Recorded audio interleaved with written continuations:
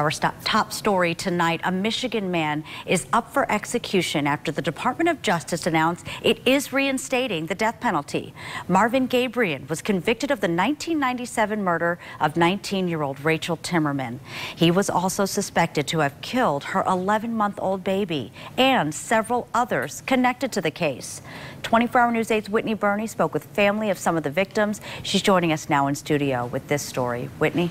Marvin Gabrion never confessed or gave police any information about the four other missing people in this case, including 11-month-old baby Shannon Verhaeghe, who was never found. The Verhaeghe family says it's something that's been haunting them for 20 years.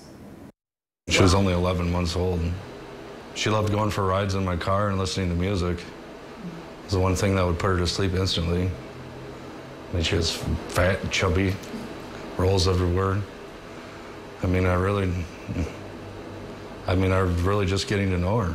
Rick Verhaeghe says he's been thinking about his baby girl Shannon for more than 20 years. I mean, I try not to think about it that much, but it's hard not to, you know. In 1997, the 11 month old and her mother, Rachel Timmerman, went missing. Police say Timmerman was kidnapped by Marvin Gabrion, who was awaiting trial for sexually assaulting her the previous fall. They say he tied Timmerman up while she was still alive, weighed her down with cinder blocks, and dumped her in a lake near Big Rapids. Baby Shannon was believed to be with her. She was never found. I wouldn't wish it on my worst enemy anybody, nobody should ever have to go through it. Gabrion was sentenced to death row in 2002 and could soon face execution. This after the Trump administration announced they've reinstated the death penalty. Rachel was so happy that she was a mom. And it was like, she told me it was the greatest thing to ever happen to her. And she's not here anymore. And he is.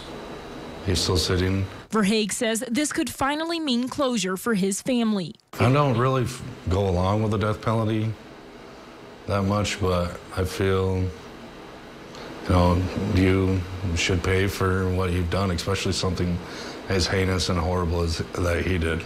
But may also mean he'll never know what happened to his baby girl. Yeah, I feel better that he's not there, but then it's like when he goes, he's taking, essentially taking her with him. Do you feel like you've forgiven him?